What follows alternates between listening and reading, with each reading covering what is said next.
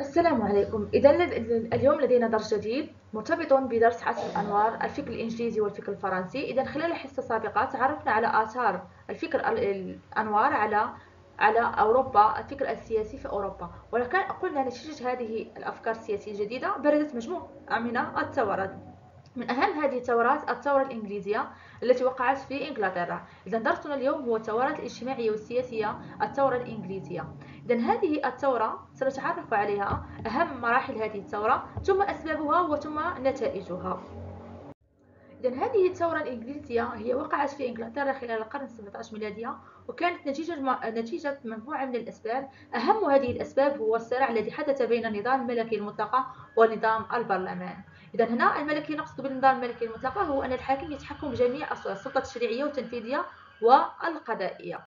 إذا والنظام البرلماني هو نظام نعم يتخذ البرلمان هو الذي يتخذ القرارات جميع القرارات وجميع القوانين ويقر جميع القوانين. لهذا أساسه هو البرلمان. إذا السلطة التشريعية يتحكم بها البرلمان. بينما النظام الملكي المطلق أن الحاكم هو الذي يتحكم بجميع السلطات التنفيذية القضائية والتشريعية. إذا خلال هذه خلال هذه الحصة سنتعرف على مراحل الثورة الإنجليزية.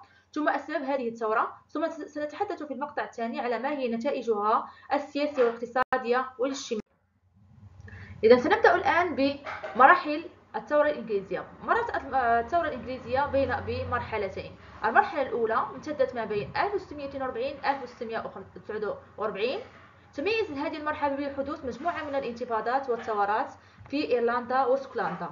ثم وقوع صراع بين الفرسان والجنجري. إذا من هم الفرسان؟ الفرسان هم الذين دعموا النظام الملكية المطلقة. بينما الجنجري هم عبارة عن طبقة الطبقة البرجوازية التجارية في إنجلترا. إذا مع مجموعة من الأحداث وقعت في هذه المرحلة. أول مرحلة أول حدث وقع هو أن شارل الأول قام بحل البرلمان. إذا فكك وتخلى عن نظام البرلمان سنة 1649 بعد هذا هذا الحدث وقعت حرب أهلية بين الفرسان والجنجري وانتصر فيها أصحاب الرؤوس المستديرة سنة 1642 إذا وقعت بين أنصار نظام الملكية وأنصار نعم البرلمان وانتصر فيها أصحاب رؤوس مستديرة.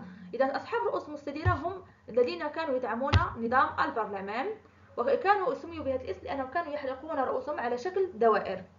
على شكل لهذا سميوا أصحاب رؤوس مستديرة إذا في هذه في هذه الحرب الأهلية انتصر نظام البرلمان. بعد انتصاره مباشرة قام بتأسيس كرومويل وهو الذي قاد الحرب الأهلية أسس أسس جمهورية كرومويل. إذا كرومويل هو كان يمثل الشعب في البرلمان هو الذي قاد الحرب الأهلية ضد شارل الأول وهو الذي أصبح رئيس إنجلترا. وقاد هذه الجمهورية الجديدة. إذا أول قرار اتخذه كرومويل هو قام بإعدام الملك شارل الأول في 30 يناير 1649 إذا إعدام الملك إذا إعدام الملكية المطلقة بشخص الملك شارل الأول.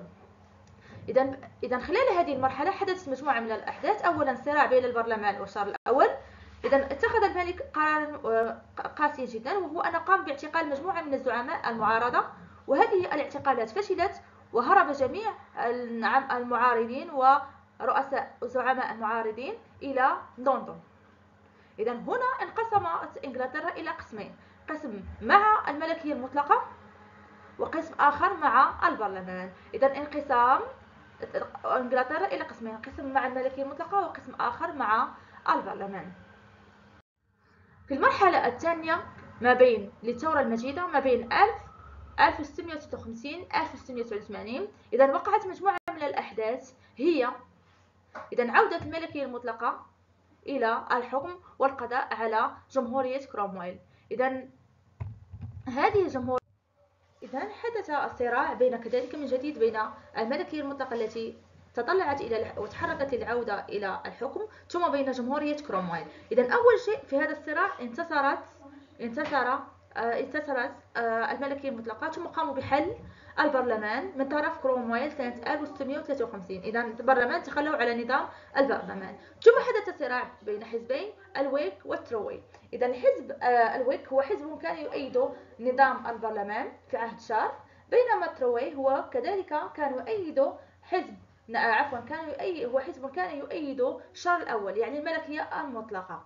عفوا شار الثاني هو هو كان عندما أعدم شار الأول جاء شار الثاني. إذا هنا هذا تروي كان يدعم شار الأول يعني الملكية المطلقة. هنا هذا الصراع انتصرت فيه الملكية المطلقة وعادت إلى الحكم. إذا في شخص شارل الثاني وجاك الثاني.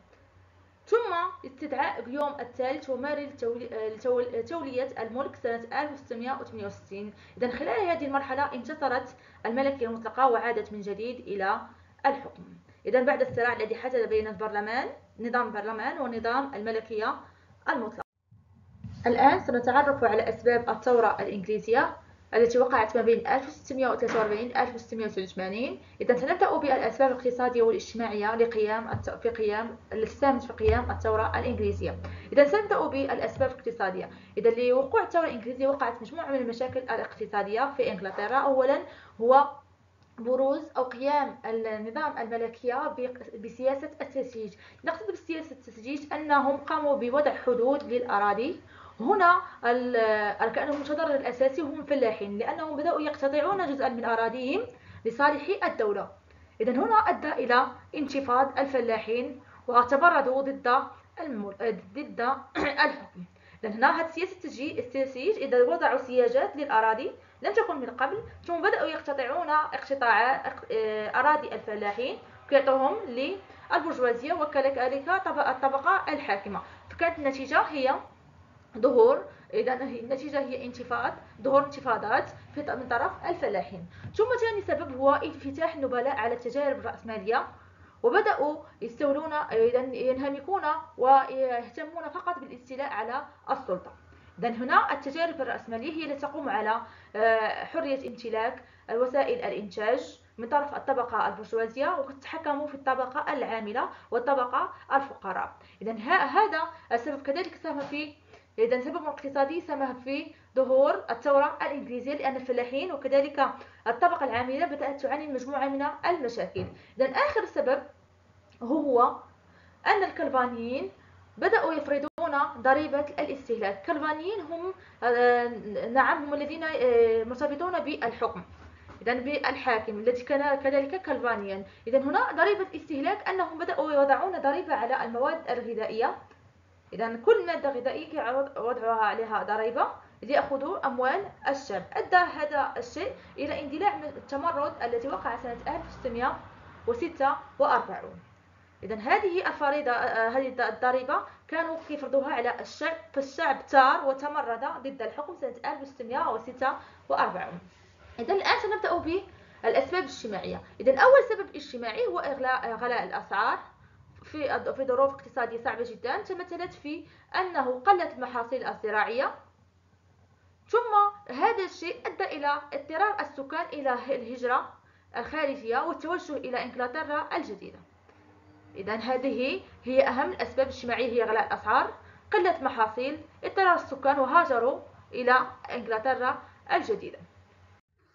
الآن سنتعرف على الأسباب السياسية والدينية لقيام الثورة الإنجليزية. إذا أول شيء هو السبب السياسي هو أن الملك جاك الأول. نعم جاك الأول كان مستبدا ويريد أن يصل إلى الملكية المطلقة. لهذا بدأ يفرض آراءه على البرلمان. إذا هو الملك شارل الأول يقول أن الله هو الذي أعطاه هذه آه هذه الملكية وهذا الملك لهذا يجب أن يتصرف كما يشاء. إذا بدأ يفرض إذا على البرلمان آراءه التي تقول أنه المسؤول الأول أمام الله وأمام وليس أمام الرعية. يعني أن الرعية ما خصهمش في الحكم لأنه مسؤول أمام الله وليس أمام الرعية. يعني يفعل ما يشاء لأن الله هو اللي أعطاه ذلك الحكم. ثم يقول أن الملك لا يخضع للقوانين لكونه هو القانون. أن الملك هو القانون. لا يجب عليه أن يخضع للقانون والذي كان وضعه البرلمان. إذا هنا كذلك هناك سبب آخر هو شارل الأول. إذا شارل الأول كذلك كان مستبدا وكان مستبدا بشكل كبير جعله يفرض مجموعة من القوى بعد انهزامه مع إسبانيا وقعت واحد حرب بين إسبانيا وإنجلترا. انهزم فيها إنجلترا لأن هذه الحرب كانت إنجلترا كانت خسرت عليها مجموعة من الأموال كثيرة جدا. إذا هنا بعد انهزامه في هذه المعركة إذا قام بفرض قروض على التجار والصناع وأصحاب الرؤوس الأموال. يعني الصناع اللي عندهم والتجار اللي عندهم الأموال فرض عليهم أموال بشكل كبير جدا. فنشب صراع جديد بينه وبين البرلمان الذي قاموا بحله لأنه كان مستبدا. إذا الآن سننتقل إلى السبب الثاني هو السبب السياسي وهو أن الملك جاك كان كالفانيا لهذا بدأ يطهر الكنيسة من الأنجليكية ثم الكاثوليك. إذا الذين يتبعوا الأنجليك والكاثوليك قام بتطهيرهم واقترضهم من الكنيسة لأنه كان تفكيره كالفانيا إذا هذه أهم الأسباب السياسية والدينية لإندلاع الثورة الإنجليزية. دمتم سالمين.